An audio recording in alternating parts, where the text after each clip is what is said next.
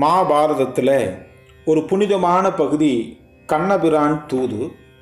அதை பக்தியோடு நாம் இன்னைக்கு சிந்திக்க தொடங்குகிறோம் ரெண்டு மூணு பகுதிகளாக எம்பெருமானுடைய திருவிளையாடலை நாம் சிந்திக்க இருக்கிறோம் விதுராழ்வார் ஏராளமான அறத்தையும் தர்மத்தையும் திருதுரைய மனம் தெளியும்படி சொன்னார். பகவத்கீதை எவ்வளவு புனிதமானதோ அதுபோல விதுர நீதியும் ரொம்ப சிறப்புக்குரியது.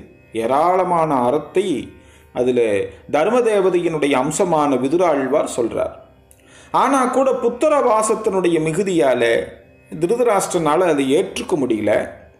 அந்த பக்கம் பாண்டவர்கள் அதுலேயும் குறிப்பாக தருமர் இந்த மகாபாரத யுத்தத்தை எப்படியாவது தடுத்து நிறுத்த வேணும்னு நினைக்கிறார். யுத்தம் வேண்டாம் கிருஷ்ணா. தாங்கள் எங்களுக்காக தூது போய் அந்த துரியோதனிடத்தில் பேசி எங்களுக்கு சேர வேண்டிய ராஜ்யத்தை பெற்றுத்தர வேண்டும் ஆண்டவனேன்னு பணிஞ்சு வணங்கினார். இப்போ கண்ணபிரான் சொன்னார் இது உங்கள் ரெண்டு பேர்த்தினுடைய பங்காளிகள் பிரச்சனை. நான் பொது மனுஷனாக அங்கே போகிறேன் நீங்கள்லாம் ஐவருமாக சேர்ந்து என்ன கருத்து சொல்கிறீங்களோ அதை அப்படியே போய் துரியோதனிடத்தில் சொல்கிறேன் துரியோதனன் என்ன சொல்கிறானோ அதை வந்து உன்னிடத்தில் சொல்லுகிறேன். தர்மா நீ நான் தூது போய் அங்கே என்ன சொல்ல வேணும் என்ன கேட்க வேணும்னு நீ முதல்ல சொல்லுனார் பணிந்து வணங்கி தருமர் சொன்னார் எம்பெருமானே எங்களுக்கு சேர வேண்டிய பகுதி ராஜ்யத்தை துரியோதனன் கொடுக்கும்படி கேட்கணும்னார். இப்போ கண்ணபிரான் கேட்டார் தர்மா அவன் தர மறுத்து விட்டால் போருக்கு நாள் குறிச்சிட்டு வந்துட்டுமா கேட்கிறார். காதை ரெண்டையும் பொத்திட்டு தருமர் சொன்னார் கிருஷ்ணா உன்னுடைய வாயால் போர் என்று நீ சொல்லாதே. அவன் தரலேன்னு சொன்னான்னா பகுதி நாடு தர மறுத்துட்டான்னா ஐந்தே ஐந்து ஊர் மட்டுமாவது கேள். அஞ்சு ஊர் கேள் போதும். போர் வேண்டான்னார் சரி தருமா அஞ்சு ஊர் கேட்கிறேன். அதை கூட இந்த துரியோதனன் தரலன்னு சொல்லிட்டான்னா அப்போ போருக்கு நாள் குறிக்கட்டுமான்னு கேட்டார். பெருமானே ஐந்து ஊர் அவன் தராவிட்டாலும் பரவாயில்லை. நாங்கள் வசிப்பதற்கு ஐந்தே ஐந்து வீடு கொடுத்தா கூட போதும். போர் வேண்டாம் கிருஷ்ணான்னார். சரி அதுவும் தரலன்னு வை. இப்போ என்ன செய்யறது தருமா? அஞ்சு திருவோடு வேணா வாங்கிட்டு வரட்டுமான்னு கேட்கலான்னு நினைக்கிறார். அவ்வளவு கோபம் கண்ணபுரானுக்கே வந்துடுது. அவ்வளவு பொறுமையில் இருக்கிறார் தர்மர். ஐந்து வீடு கூட கிடைக்கலினா என்ன செய்கிறது தர்மா?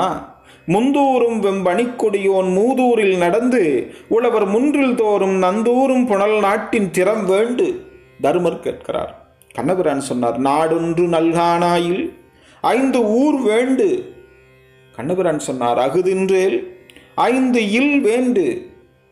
கண்ணபிரான் கேட்டார் அவை மறுத்தால் அடுவோர் வேண்டு கிருஷ்ணா சிந்தூரத் திலகனுதல் செந்துரத்தின் மறுபுசித்த செங்கன்மாளே வேற வழியே இல்லைன்னா போருக்கு நாள் குறித்து விட்டுவான்னு வேதனையோடு சொல்கிறார் முடிஞ்ச அளவுக்கு சமாதானம் சமாதானம்னு சொல்கிறார் இப்போ அடுத்து பீமனை அழைச்சார் கண்ணபிரான். பீமா நான் தூது போகட்டுமா வேண்டாமா? இல்லை அங்கே போய் என்ன பேசணுங்கிறது நீ என்ன நினைக்கிற உன்னுடைய கருத்தை சொல்லுன்னார். சரியான கோபம் பீமனுக்கு. நரநர நரன்னு பல்ல கடிச்சிட்டு வந்து சொன்னார் பெருமானே எனக்கு இப்போ இருக்கிற கோபத்துக்கு கதாயுதத்தை எடுத்து தர்ம தலைமையிலேயே போற்றுவன்னார். துரியோதனனுடைய பொறாமையை விட இந்த தர்மரனுடைய பொறுமையும் நிதானமும் என்னை ரொம்ப கோபப்படுத்துது. யாரிடத்துல எவ்வளவு இரக்கம் காட்டுதுன்னு ஒரு அளவு வேண்டாமா? எவ்வளவு சூது செய்திருக்கிறான்? சின்ன வயதிலிருந்தே நம்மை கொள்வதற்கு முயற்சி செய்து கூண்டோடு அழிக்க அரக்கு மாளிகைக்கு தீ வைத்து நம்முடைய நாடு நகரங்களை எல்லாம் சூதினாலே கவர்ந்து நம்மளுடைய பெண்டு திரௌபதியை மானபங்கப்படுத்தி இத்தனை செய்ததற்கு அப்புறம் அவன் மேலே கருணையா அவன் மேலே பொறுமையா? உறுதியாக நீ தூது போக வேண்டாம் கிருஷ்ணா அந்த மூடனுக்கு அது புரியாது. என்னுடைய கையில் இருக்கிறதே கதை. இந்த சத்ரு காதரியினுடைய வலிமை என்னன்னு தெரிஞ்சிருந்தால் அவன் இந்த காரியத்துக்கு தலைப்பட்டிருப்பானா? அதை விடு கிருஷ்ணா. இதோ நிற்கிறானே அர்ச்சுனன் அவன் கையில் இருக்கக்கூடிய காண்டீபத்தினுடைய பெருமை என்னங்கிறது தெரிந்திருந்தால் அவன் கையில் பாசுபதம் இருக்குதுங்கிற நினப்பு இருந்தால் அவன் வந்து இந்த காரியத்துக்கு தலைப்படுவானா? அதுபோல நகுல சகாதேவர்களுடைய தோல் வலிமையையும் வாழ் வலிமையையும் அவன் உணர்ந்திருந்தால் இந்த தீய செயலுக்கு தலைப்படுவானா? அந்த மூலனிடத்தில் தூது போய் பிரயோஜனம் இல்லை. அதையெல்லாம் விட்டுடு கிருஷ்ணா. சாத் சாத் பரம்பொருளாய் இருக்கக்கூடிய எம்பெருமானே எங்களுக்கு துணை இருக்கிறான்கிற அந்த ஒரு எண்ணம் இருந்திருந்தாலாவது இந்த காரியத்தை இவன் செய்திருப்பானா?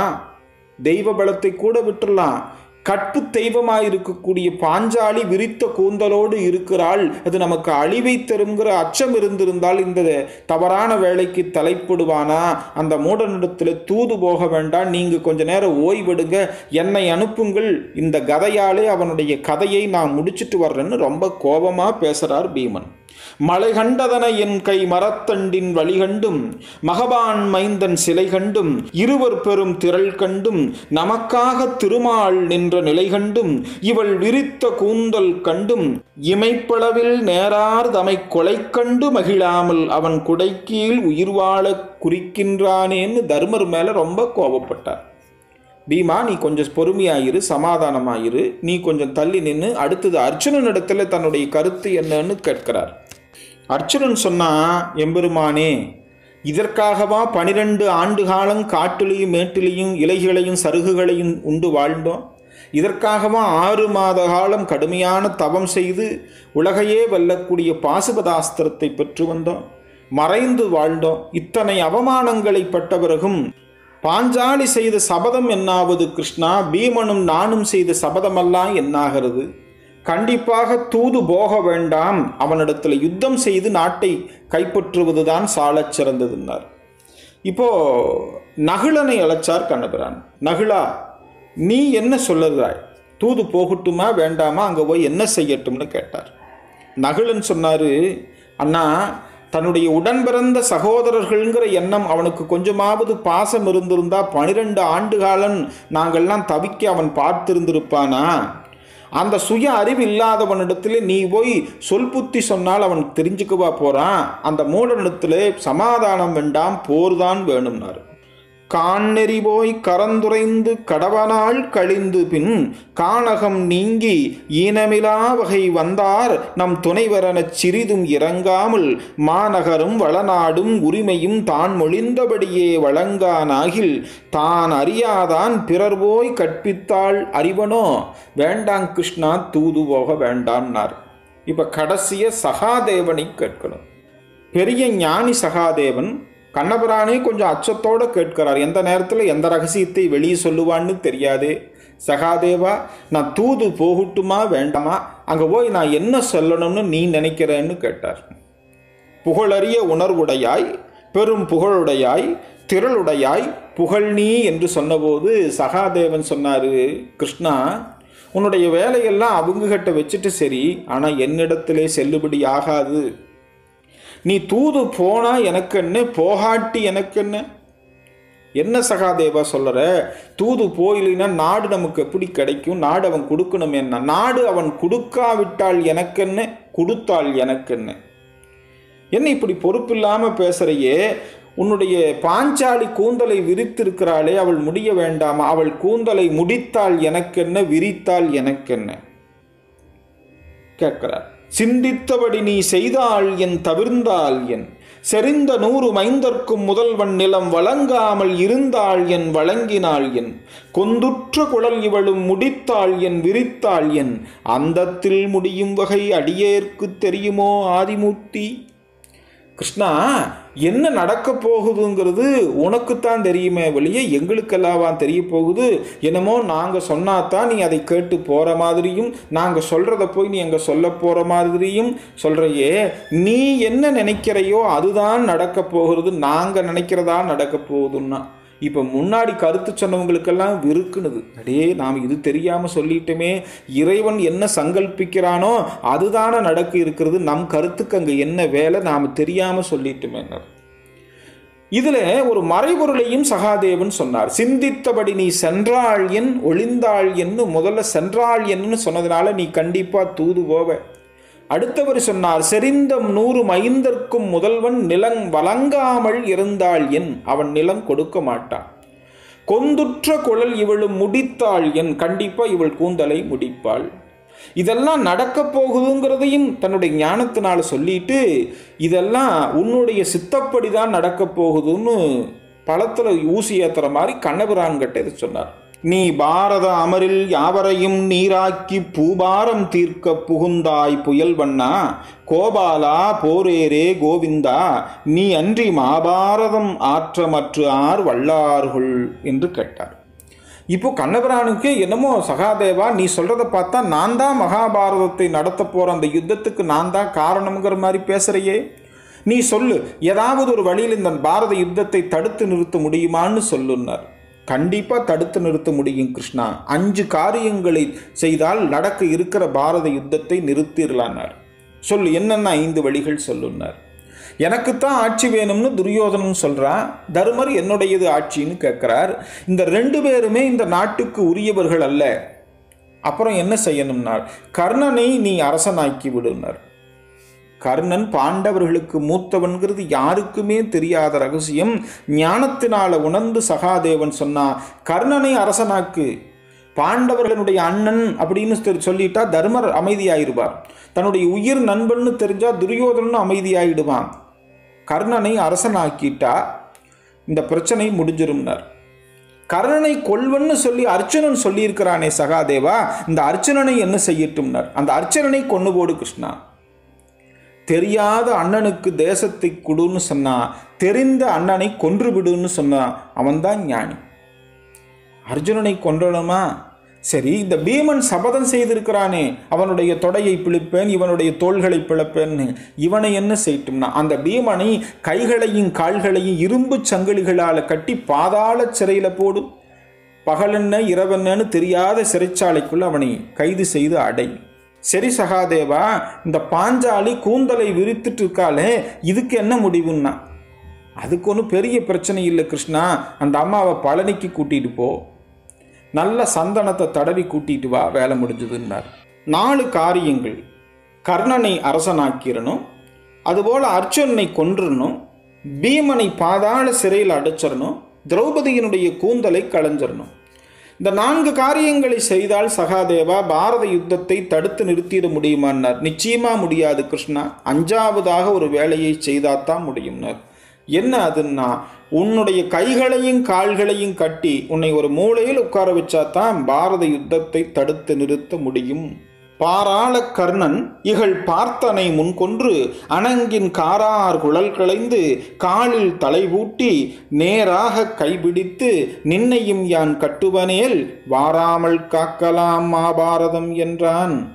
சகாதேவா நீ சின்ன பையன்கிறத காமிச்சிட்டு பாத்தியா? நீ முன்னாடி சொன்னையே அந்த நான்கு காரியங்களை செஞ்சாலும் செஞ்சிடலாம் என்னை நீ கட்டலாம்னு எப்படி நினச்ச? முன்னம் நீ கூறியவை எல்லாம் முடிந்தாலும் என்னை நீ கட்டுமாறி எவ்வாறு என்று சொல்லி எம்பெருமான் பதினாறாயிரம் வடிவமாக காட்சி உடுத்து வா என்னை கட்டுவா கட்டுவான்னு கூப்பிடுறார்.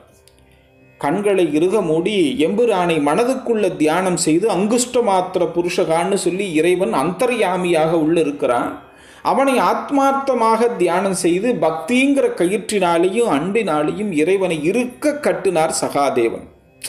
எவ்வளவு பெரிய எம்பெருமான் சர்வஜனாக சர்வ வியாபகவனாக இருக்கக்கூடியவன் அன்புக்கும் பக்திக்கும் கட்டுப்பட்டு இறுக்கமாக கயிற்றிலே கட்டப்பட்டுண்டு கிடந்தான்னு பாரதம் நமக்கு காட்டுது. தான் வள்ளல் பெருமான் சொல்லுவார் அன்பெனும் பிடியினில் அகப்படும் மலையே அன்பெனும் குடிபுகும் அரசே அன்பெனும் வளைக்குட்படும் பரம்பொருளே அன்பெனும் கடந்தமர் அமுதே அன்பெனும் கடத்தினில் அடங்கிடும் கடலேம்பார் இறைவனை அன்பினாலையும் பக்தியினாலையும் தான் கட்ட முடியும். அன்புக்கும் பக்திக்கும் கட்டுப்பட்டு ஆண்டவன் இருப்பான்பதை காட்டக்கூடிய இடம் மகாபாரதத்தில் இந்த இடம். சகாதேவன் இறைவனை கட்டிய இடம். இப்போ கண்ணபிரான் ரொம்ப பரிதாபமாக சகாதேவன்கிட்ட கேட்டார். சகாதேவா என்னுடைய கட்டுக்களை அவிழ்த்து விடு. அன்பினால் இன்று என்னை நீ அறிந்தே பிணைத்தமை நன்று நன்று. என் பாதம் தனை விடுக என்று எம்பெருமான் கேட்டபோது சகாதேவன் சொன்னாரு பெருமானே நீ எடுத்திருக்கக்கூடிய இந்த கிருஷ்ணாவதாரமே பூபாரத்தை குறைப்பதற்காக எடுத்திருக்கிற அவதாரம். ஆனாலும் நடக்க இருக்கிற மகாபாரத யுத்தத்திலே எங்கள் ஐவரை மட்டுமாவது நீ பார்வையினால் காத்து கடாட்சிப்பாயின்னு உத்தரவாதம் கொடுத்தா உன்னுடைய கட்டுக்களை அவிழ்த்து வர்றன்னார். வன் பாரத போரில் வந்தடைந்தோம் ஐவரையும் நின் பார்வையால் காக்க வேண்டும் நெடுமாலேன்னு சகாதேவன் வேண்ட அப்படியே ஆகட்டும்னார் ஆண்டவன் அதுக்கு பிறகு கட்டுக்களை அவிழ்த்து விட்டார். இப்போ கண்ணபிரான் சொன்னார் வெளியில் பத்திரிகை நிருபர்கள் எல்லாம் நிறைய நிற்பாங்க. சகாதேவா உள்ளே என்ன நடந்ததுன்னு கேட்டால் வேற ஒன்றும் இல்லை ஒருத்தருக்கு ஒருத்தர் சும்மா நலம் விசாரிச்சிட்டோம்னு மட்டும் சொல்லு. நடந்த செய்திகளை பூரா வெளியில் சொன்னீங்கன்னா அப்புறம் அவனவன் என்னை கட்டிடுவான் என்ற வேலை கட்டு போயிருந்தார் அப்படியே ஆகட்டும்னு ரெண்டு பேரும் வெளியில் வந்தாங்க. இப்போ கடைசியாக கண்ணீரோடு வந்து பாஞ்சாலி கண்ணபிரானுடைய கால்களில் விழுந்தார். பெருமானே ஐந்து பேர் எனக்கு கணவர்களாக இருந்தும் எனக்கு மானத்துக்கு பாதிப்பு வந்தபோது யாரும் என்னை வந்து காட்டல உன்னுடைய கருணைதான் என்னுடைய கற்பை காத்தது. அதுபோல நான் செய்த சபதத்தையும் நீதான் காக்க வேணும்னு கதறி அழுதாங்க. கற்றை குழல் விடித்து கண்ணிலான் பெற்றெடுத்தோன் பற்றி துயிலுரிய பாண்டவரும் பார்த்திருந்தார். கொற்றை தனித்திகிரி கோவிந்தா நீயன்றி அற்றைக்கும் என் மானம் ஆறுவேறு காத்தாரே. மானம் காத்த ஆண்டவனே என்னுடைய சபதத்தையும் நீதான் காக்க வேணும்னார் இப்போ எம்பெருமான் சொன்னார் கவலைப்படாத பாஞ்சாலி தொல்லாண்மை பாண்டவர்க்கு தூது போய் மீண்டதன் பின் நல்லாய் நின் பைங்கூந்தல் நானே முடிப்பேன் என்று ஒரு வாக்கு கொடுத்துவிட்டு தூது போய் வந்து நீ செய்த சபதத்தின்படி உன்னுடைய கூந்தலை நானே முடிப்பேன். நீ கலங்காமல் இருன்னு சொல்லி எம்பெருமான் வாக்கு கொடுத்தார். தன்னை சரணடைந்த அடியவர்களுக்காக ஆண்டவனே தூது போன அற்புத செய்தியை நாளை சிந்திக்கலாம். பக்தியோடு பாரதம் கேட்டுக்கொண்டிருக்கக்கூடிய அன்பர்களுக்கு முன்கதை சுருக்கத்தையும் அதுபோல ஆன்மீகம் சோதிடம் சார்ந்த பயனுள்ள தகவல்களையும் பகிர்ந்து கொள்ள பக்தி உலா யூடியூப் சேனலை நீங்கள் சப்ஸ்கிரைப் பண்ணணுங்கிறத சொல்லி திறநிறைவு செய்கிறேன். வணக்கம்.